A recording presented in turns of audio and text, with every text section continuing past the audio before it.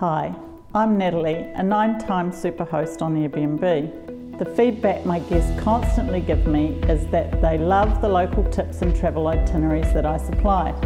On this channel, I share some of these tips and reveal the hidden Auckland that regular tourists never discover. I'm doing this because I want to help you get the most out of your stay.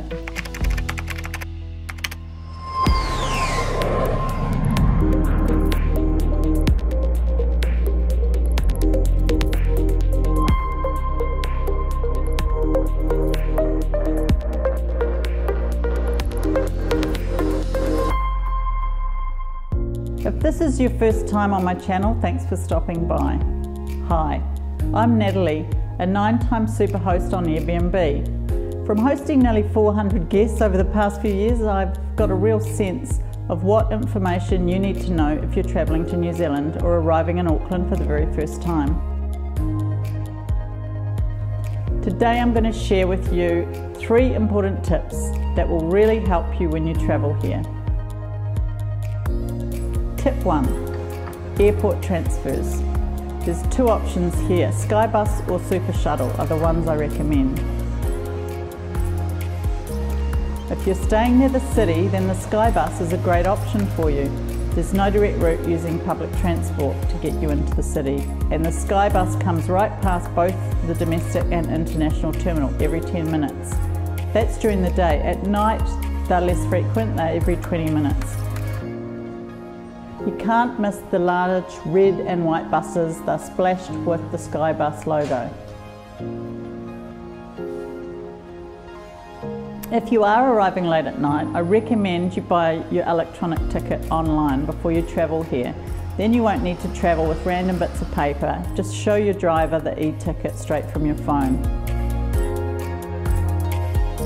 If you don't have the chance, there is a small ticket booth at the domestic terminal, but it's only open during the daytime. It costs just $19 one way, and if you purchase online, you get a dollar discount per ride. The second option I recommend is the Super Shuttle. It's a door-to-door -door minibus, and if you're staying somewhere off the Skybus route, this is your best choice. It's best to pre-order on their website if you're arriving any time after 8pm as there won't automatically be a van waiting at their stand during the night. The Super Shuttle charges $35 for a ride into town and it takes at least 40 minutes as they'll be dropping off other passengers along the way. The thing I like about the Skybus is that they offer free Wi-Fi on board this way you can check your emails or find those check-in instructions for your hotel or Airbnb if you haven't had the chance to get your phone working on the local network. That brings me to my second tip, where to buy a SIM card to get onto the local network. There is a Vodafone counter at the international terminal within the duty-free shopping area before you come through the customs hall, but if you're arriving late at night, it'll be closed. If it is closed, just get into town with the Skybus, use their Wi-Fi, get to your Airbnb or hotel, and then the next morning, head on down to Queen Street and there's a number of telco stores based on Lower Queen Street. The three most popular phone companies in New Zealand are Vodafone, Spark and 2 Degrees.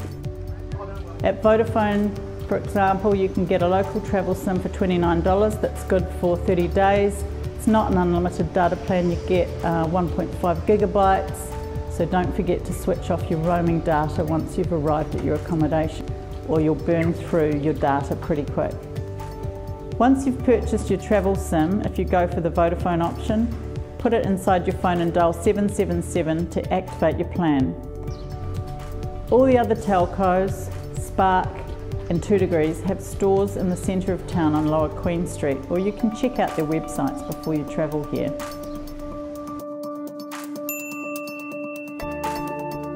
Tip 3 is luggage storage.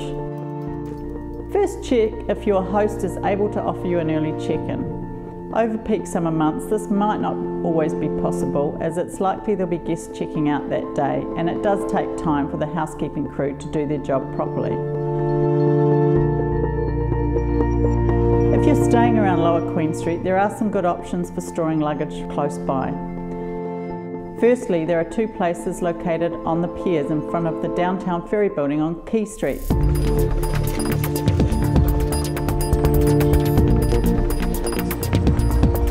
You can try either the Harbour Information Kiosk on Pier 1, who take bags of any sizes, and they charge $10 per day. Or there are electronic lockers on Pier 2, next to where the Waiheke ferry leaves from. These are accessible 24 hours a day, seven days a week, and they offer the benefit of multilingual instructions and payment via credit cards. The Harbour Information Kiosk on Pier 1, opposite Island Gelato, is manned but they don't open until 9am and they close at 4.45pm.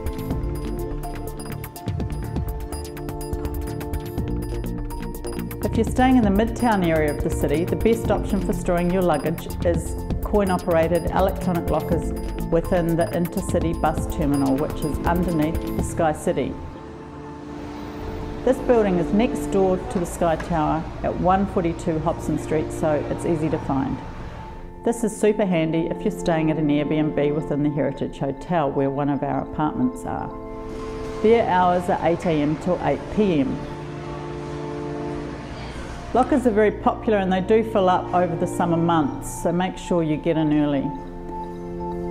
Always double check the closing hours directly with the operator too, in case they decide to change their hours at short notice. If you get held up sightseeing, you don't want to lose access to your luggage for your first night in Auckland. Failing that, and if you're travelling light, which I highly recommend, you can always hang out in a cafe until check-in time. This is generally 3pm.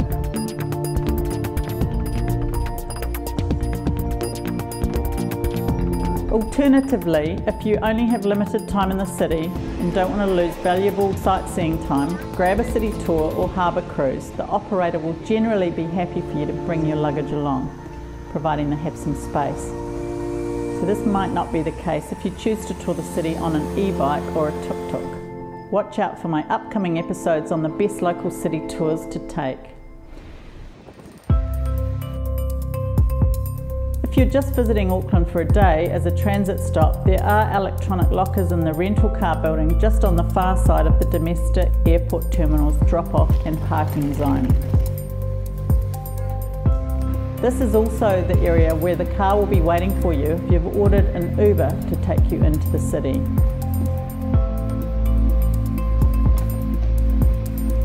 I message my Airbnb guests via the Airbnb platform as soon as our accommodation has been serviced and is ready to welcome you. It's usually possible to check in one or two hours prior to our advertised time, but I usually can't confirm this until the day of your scheduled check-in when I have a better idea of how many turnovers the housekeeping crew has to do. Of course, you will need to have a mobile that works in New Zealand for any communication with your host. I highly recommend that you do this to ensure you get a five-star Airbnb rating. One of the criteria that the hosts are asked to rate their guests on is communication. So if you're unable to communicate, this puts you at a disadvantage. On that note, if you purchased a new SIM, don't forget to give your new phone number to your host, hostel or other accommodation provider. It is a requirement of most apartment buildings in the city that guest details are given to the building manager in case of an emergency.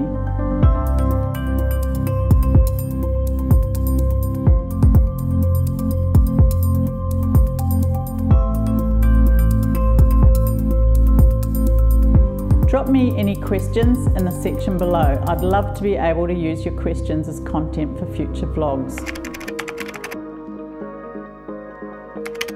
Hey, thanks for checking out this video. I hope you found some useful information that will help you get the most out of your stay in Auckland. If you're planning on coming over to New Zealand sometime soon, stay tuned for more tips. I've got a ton of them to share. You know the drill, hit the subscribe button. Check out my listings on Airbnb using the direct links I've posted below. I would love to host you and show you some great hospitality. I hope to see you soon.